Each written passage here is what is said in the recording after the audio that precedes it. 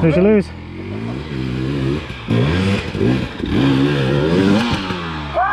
Nice! Let me get my camera out. We'll do it again.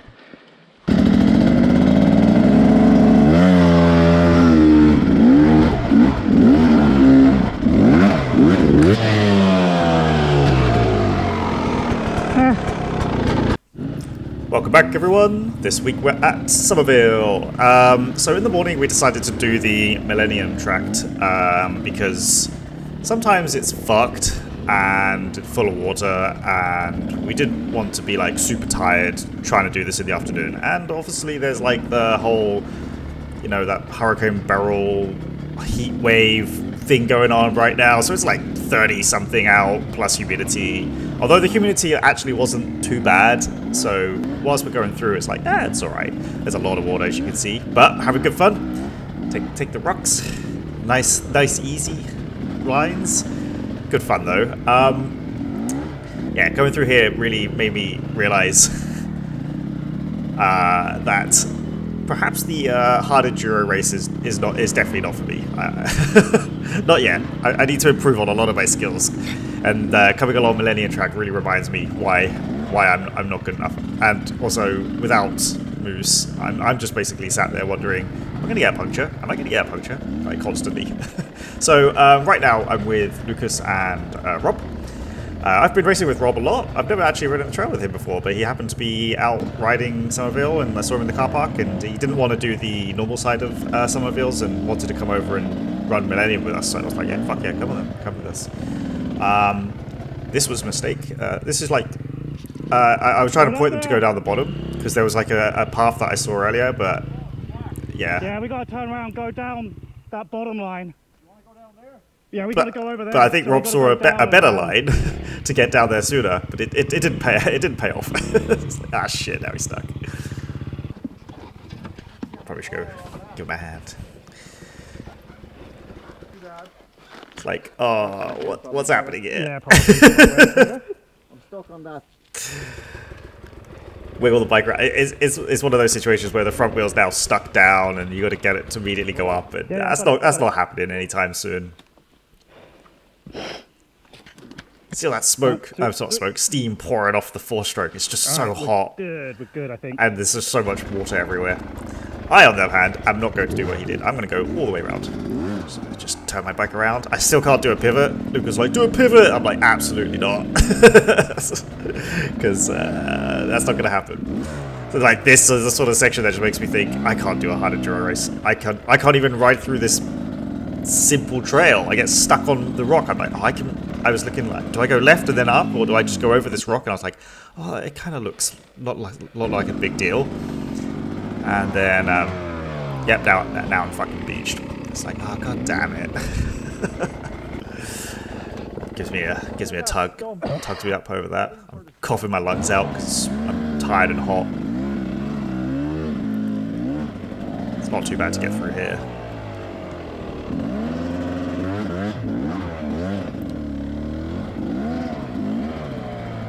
So slow. The progress is so slow.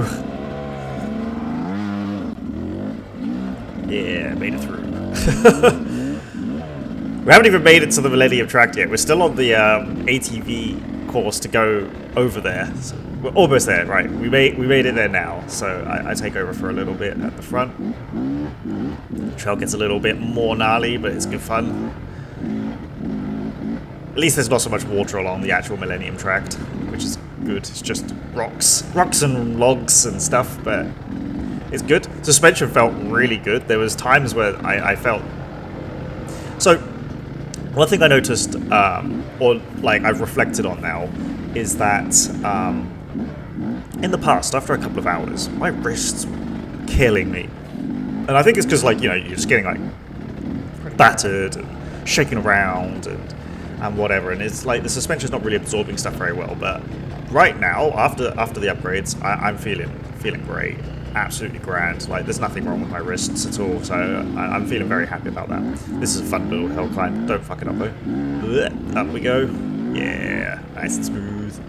And then I like ride off into a bush over here or something like that. so then Rob takes over for a little bit. But yeah, it's it's. ah, you see the rocks. I, I should probably get some mousse. I feel like it would be good to get them and see what it feels like to ride with mousse and stuff like that, especially before the cord. Um, I know there's still quite a few months, but time's starting to run out, and uh, I need to start preparing for that. A lot of water today, you can see. It's- usually that's quite quite empty, but we made it through. We slipped there. And Lucas is coming through. Hey, nice. Nice. Like, uh, going along the trail a little bit more, just like nice riding, just bumpy riding, and then I managed to get myself stuck behind this tree. I'm like, oh, for God's sake. Let's try and do a pivot over. That's my best attempt. Now I'm stuck, and I'm like, you know what? It's so hot, I can't be bothered to try do it, and the ground is super soft, and I'm sort of semi-beach, so I just pull the bike over. Just take a nice gentle ride through here. Look at this beautiful trail. Absolutely beautiful. We were pretty quick. We managed to do the whole there and back in an hour and 20 engine time. Um, I think it was probably not. We didn't rest too much. Maybe 10, 15 minutes total resting. And like faffing around pulling bikes Better and than stuff. pivot. Yeah, better than my pivot. And keep going. Some, some really cool little features. I wonder if this uh, bridge is going to get chewed up anymore. It's it's still it's still here. It's still pretty good. Like, this trail is like one of those trails where you can make things super hard. Like I've gone up the left of that before, um, and if it's raining or it, like wet, like actually like super wet, this this whole place becomes like a completely different experience. But right now, it's I would say it's quite dry, even though the water is high, and then this is what it's kind of like when it's wet. So it's like bloody hell! Look at this rear. That's not what I want to see. It's like, oh Jesus, I don't want to get stuck on that. I can feel like the rear just like wiggling around as I'm going up there. And now I'm just sliding down the rock. but yeah, yeah, you can see like it, it could get very slippery very quickly. Slippery? Slippery very quickly on a on a wet day, but it's 30 odd something degrees out. Everything is absolutely baking. I'm so glad I'm riding a two-stroke. I'm not really feeling the heat, but when I, I'm parked next to Rob, I can feel the heat absolutely pouring off his four-stroke. It's absolutely brutal. some of these things I'm getting like there's a lot of sorry I was gonna say some of these things I get a little confused by and I, I want to take it a little bit more carefully because this is the sort of thing I was worried about like Ah, ah nah, now he's stuck. We don't want that to happen and you don't like you don't know what happens and like who's been through here or what's going on. So we're, we're tugging this out. One, two, three. maybe he could have got through it if he absolutely pinned it but why you know what why yeah why don't you have an electric bike and have a reverse gear? But yeah it's like way out. Wh- why why risk it? And then towards the end of the Millennium Tract, it, it, it smooths out and gets super super nice. The suspension felt amazing through here. I was super super happy with it. I wonder if having the mousse would add like a more dead feeling as well, like to to like reduce the vibrations more, or does the dead feeling add vibrations? Uh, because obviously it's not as bouncy, so to speak, and the, like the air won't absorb as much. Wee, bouncy, bouncy, jumpy, jumpy. Good fun. I don't know. Like, I'll look into it. I don't even know what what mousse I need to get, what inserts to get for my my tires, because I got. Well, an enduro medium should be easy. I just get a, a whatever the, the ones that Michelin make, and then um, yeah, for the rear, the uh, the IRC, uh, I'm, I'm not sure. I'll have to look that one up because it's quite thin. It's like 110. So we're on our way back now, and it has some pretty cool uh, things that you come down them and you don't even think about it, but going back up them is like, ooh, not so great. I didn't take that angle very well, and I got my front wheel stuck behind another route. But I've done it worse in the past. I've done it better in the past, but I feel like in the past it, there was more mud cover, so it wasn't as hard. Now it's it's, it's definitely it's getting harder and harder each year. But uh, bit of time, bit of patience, and, and the guys pointing which way to go. Not so bad.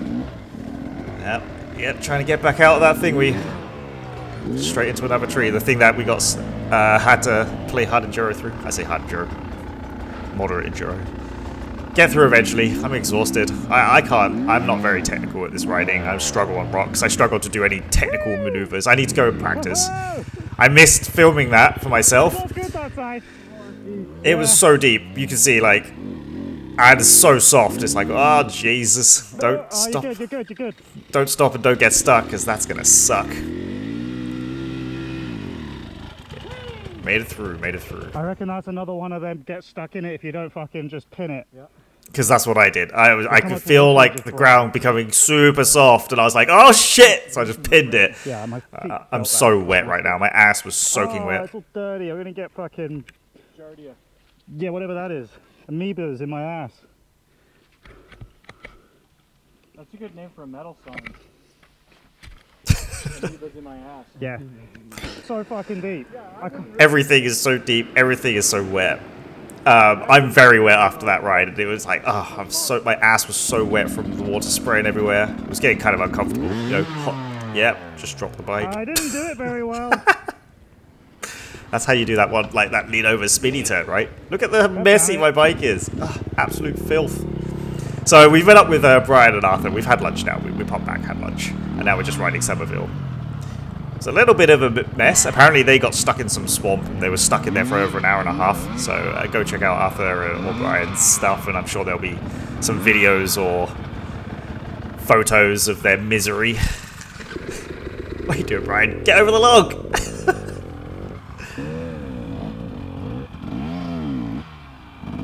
Oh, he knows how to wheelie. Ah, much much cleaner. Boing. Ah, Lucas is dark. He's helped me enough that day. Yeah. So, uh, Rob and I, we were just holding back a little bit, and Lucas, um, to let Brian get a bit ahead, and then we can play Razit, catch him up.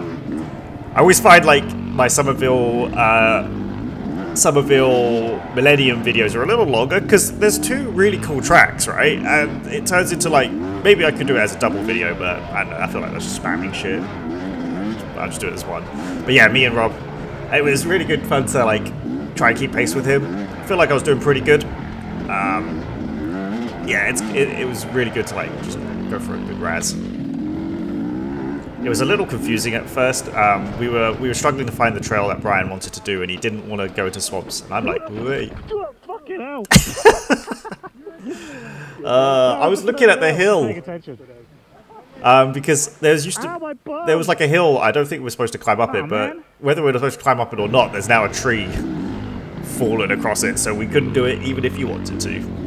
Um, so we turned around. We tried to find this trail. Uh, fuck knows where it is, but like Rob and I were still just hanging back, and then we razz it. So I managed to do something really annoying. You saw like all the stupid shit we've been doing, all the stuff we fell over, rocks, trees, all that sort of stuff. No problem, no no issues with the bike. And then um, on one of those turns where we were just turning around because we're trying to find this trail that Brian's on about. Um, I turn around and I'm watching the other guys ride off, so I'm not paying attention to where I go, and I ride straight into a stump and fucking bend my uh, gear lever back. So my gear lever's all like bent upwards and it's like, god damn it, I just got a new one like a month ago, and now I fucked it already. oh well, whatever. Nothing over span I can't fix and back. So we get here and we're like, Ah. where the hell do they go? He go? was doing everything in his power to stay out of the fog. And now he's used all his Where'd he go? powers to turn himself fucking Wait, invisible. So we don't know where he was, and we lost Brian and Arthur for a while, and so like we're just like fuck it, we'll just go ride trails for a bit. So I'm just gonna put some video up of uh, Rob and I and, and Lucas, and I'm gonna stop talking for a bit, let the bikes take over.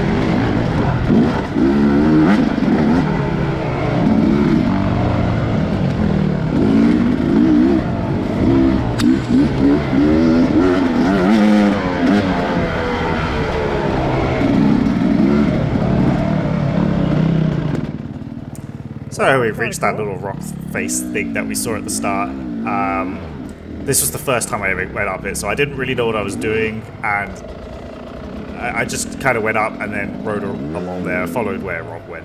Uh, I just don't do it anywhere near as gracefully as he does. uh, nope, fuck that up. Well, that was the first time I tried Oh, to do that. Didn't work out so well. And then later on, uh, we we fuck around on that for a little bit, and we're very unsuccessful, and we don't really achieve anything, and everything else is too scary. Um, and then we followed Brian again, and it's like, oh, I see how we got back to this swamp. So we went forwards, and they all went hard right. So, well, there we go. This place is so much fun to play. There's so much here to learn. It's just a shame it's like over two hours away. But yeah. Anyways, I think that'll do for this week. See ya.